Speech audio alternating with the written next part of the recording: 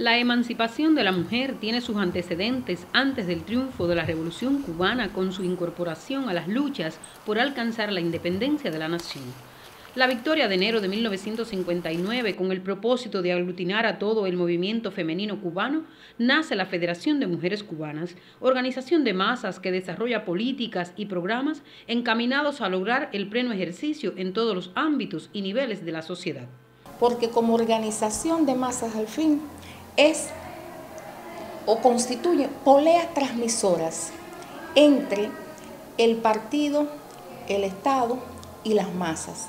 Todas aquellas mujeres que no son trabajadoras, esas indicaciones, orientaciones de la máxima dirección del partido, del gobierno, del Estado cubano, les llegan a través de la Federación de Mujeres Cubanas y otras organizaciones como los CDR, pero bueno, en particular de la Federación de Mujeres Cubanas. En Cuba el trabajo está dirigido en lo fundamental a realizar acciones para lograr la eliminación de todo tipo de discriminación vinculada con el sexo, el género, la equidad y la justicia social. Por ejemplo, las mujeres en el Parlamento, las mujeres en el sector de la ciencia, las mujeres en el sector... Em, eh, las mujeres trabajadoras, justamente en el sector civil, nosotros pudiéramos expresar que se ha logrado mucho, pero no estamos satisfechos. Queremos más.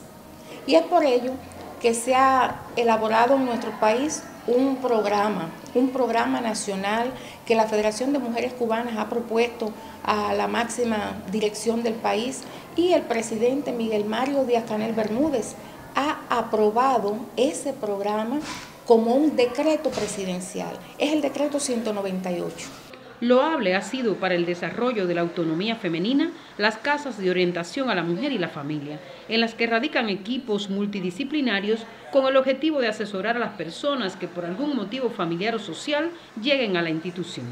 Se han realizado acciones en muchas direcciones en la sociedad, comenzando desde la incorporación al trabajo, la incorporación al trabajo, la, elevación del nivel de escolaridad y de cultura general integral de las mujeres, que posibilita que los sueños y aspiraciones por los cuales luchó nuestra máxima figura, la madre de la patria, Mariana Grajales, y, y, de ahí todas las demás que se destacaron en las luchas y hasta la contemporaneidad se logren la lucha a favor de la plena igualdad de derechos de la mujer cubana hablan de la fuerza femenina en una nación que defiende a ultranza el protagonismo femenino.